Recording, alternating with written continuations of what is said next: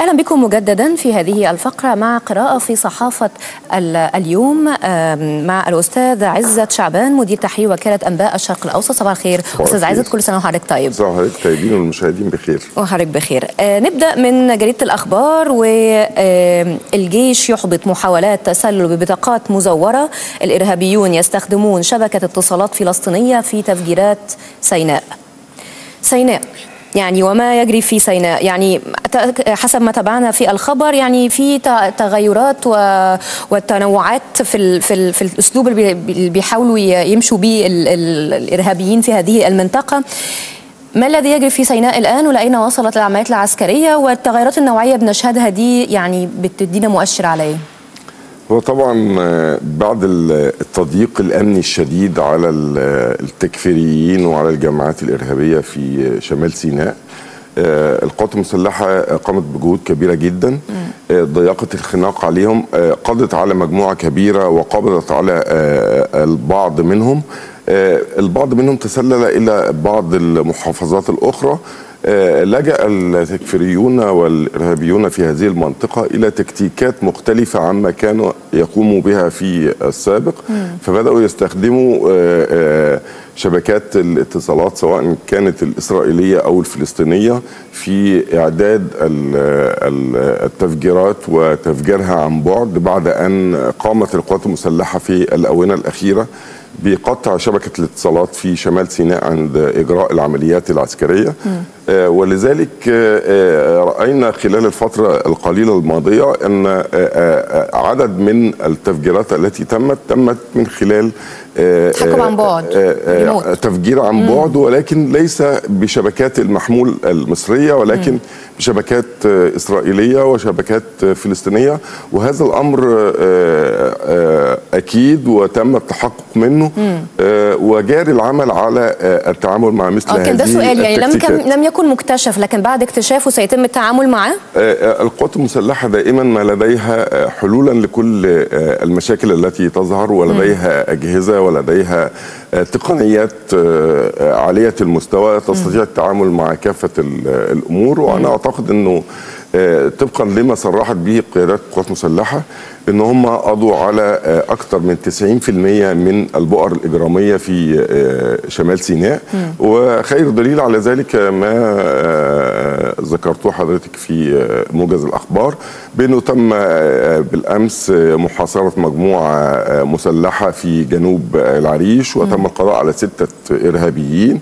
ومحاصرة مجموعة أخرى وتدمير عدد من السيارات والمنازل والعشش التي كانت تستخدم في تخزين السلاح أو اختباء الإرهابيين وأيضا تم التعامل مع عدد من الأنفاق وتدميرها وإعادة اكتشاف أنفاق أخرى آه وده بيدل على إنه القوات المسلحة وقوات الأمن المصرية لديها العزم وعلى آه إنهاء الإرهاب بالكامل في آه منطقة شمال سيناء. صحيح، لكن لما أشرت لي بزيادة التضييق على تلك الجماعات يعني ده يزيد من خطورتها أم ينبئ بنهايتها؟ لا هي أنا أعتقد إنه دائما لما بتخوضي مواجهة مع مع مجموعة ما أو مع أي مواجهة ايا كانت عند اكتمال المواجهة بتلاقي في شراسة شوية في التعامل. بيحاولوا ياخدوا بطارهم بيحاولوا بيحاولوا. بعض العناصر التي تسللت إلى الإسماعيلية أو الشرقية أو كذا إحنا رأينا خلال الفترة الماضية استهداف بعض الضباط وبعض العناصر للقوات المسلحة. أنا أعتقد إنه دي عمليات زي ما بيقولوا الجماعات هناك لما تسربت ما لقتش مجال خالص في شمال سيناء فتسربت إلى هذه المناطق ولكن هي أنا أعتقد إن هي في نهايتها يعني. نأمل هذا. في المصري اليوم الحكومة تنتظر توقيع الرئيس لتنفيذ قانون التظاهر. الإخوان تدعو إلى مسيرات ومظاهرات غدا لاحتلال المترو واقتحام رابعة والاتحادية. يعني في الجزء الأول الحكومة تنتظر توقيع قانون تنفيذ قانون التظاهر. تفاصيل هذا القانون خاصة ان بعض الحقوقيين يعني أشادوا بهذا القانون. والله إحنا في حيرة من أمرنا في في آه، آه، كلما يصدر آه، قانون أو مشروع قانون أو شيء آه، نرى مجموعة كبيرة مؤيدة له ونرى مجموعة أخرى معارضة له. هذا القانون الذي يعارضه آه، بعض الحقوقي الحقوقيين هم من طالبوا بمثل هذا القانون. آه، آه، جماعة الإخوان التي تعترض أيضا على آه، هذا القانون وتيار الإسلام السياسي آه، الذين يعترضوا أيضا على هذا القانون كانوا مؤيدين له يعترضوا علينا الآن يعترضوا عليه الآن ولكن كانوا مؤيدين لهذا القانون الذي تم إعداده في عهد الرئيس المعزول صحيح. محمد مرسي وتم إعداده أيضا في عهد حكومة الحكومة السابقة حكومة الدكتور هشام أنديل وكانوا يرحبون بهذا القانون وكانوا يدعون إلى سرعة إصدار هذا القانون ولكن مع تغير ال- المواقع صحيح. آه، أصبحوا يعارضون هذا القانون وأنا آه، عايز أقول أنه كل من آه، توجه للخارج أو عاش في الخارج فترة آه، يعلم تماما إنه كل دولة من دول العالم لديها قوانين للتظاهر وقوانين للتجمعات في الشارع. آه، أبسط الحقوق فيها أو أبسط ال- ال- المحظورات فيها عدم قطع الطرق عدم تعريض حياة المواطنين للخطر صحيح. عدم تعريض الممتلكات العامة والخاصة. كل مش بيحصل عندنا. آه، العكس كل هذا بيحصل. كل هذا لا يحدث لدينا. إحنا بنقول صحيح إنه آه، التظاهر حق اكتسبناه بالدم واكتسبناه بالثورتين متتاليتين ولكن لابد أن يكون هناك نظام.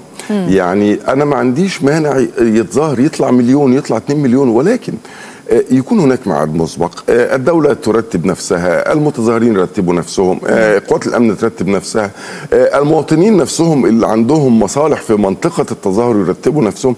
يعني لابد يكون هناك نظام في آه، عملية التظاهر لأن إحنا أصبحنا في آه، عشوائية كبيرة جدا.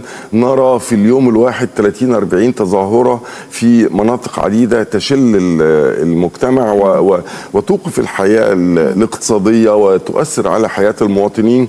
ناهيك عن آه، ما يحدث في آه، العديد من التظاهرات من صحيح. اعتداءات والخروج عن السلمية، حياة المواطنين صحيح. والخروج عن السلمية بشكل عام. صحيح. طب القانون يعني في شكله الأخير كيف تعامل مع فكرة الاعتصام؟ خاصة أن البعض يقول أن الاعتصام حق مكفول بالقانون.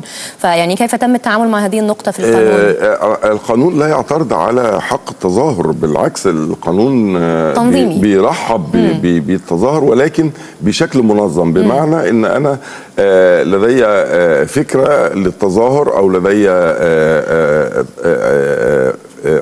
يعني عندي عايز أتظاهر غدا أو بعد غدا لابد أن أبلغ السلطات قبلها ب 24 ساعة حتى يتم ترتيب الأمور.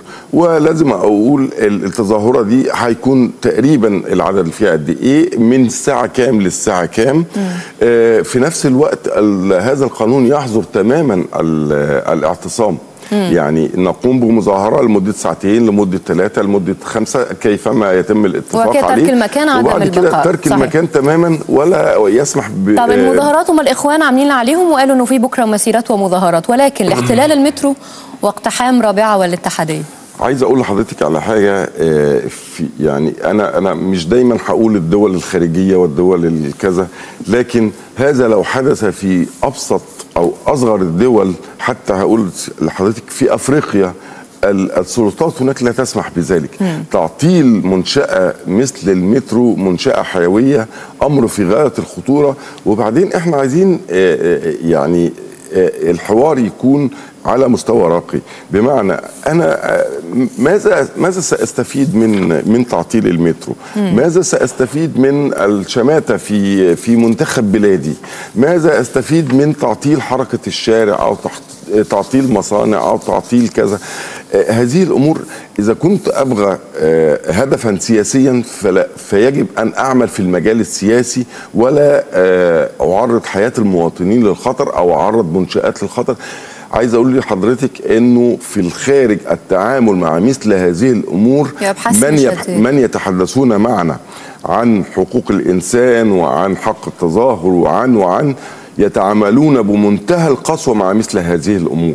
لا يسمحون على أنا عايز أقول لحضرتك إنه لو ال- التظاهرة اللي خرجت وكان المفروض إن هي تكون على الرصيف. لو حد نزل تحت الرصيف بيعتقل فعايزين نقول إنه يجب إن إحنا نرقى حتى بفكرنا في التظاهر حتى آه، نبهر العالم أيضا كما أبهرناه في آه، ثوراتنا نتمنى بالشكل الإيجابي. آه، طبعاً. إن شاء الله. آه، من جريدة الأهرام اتفاق اللحظات الأخيرة ينقذ أمريكا من شبح الإفلاس. أوباما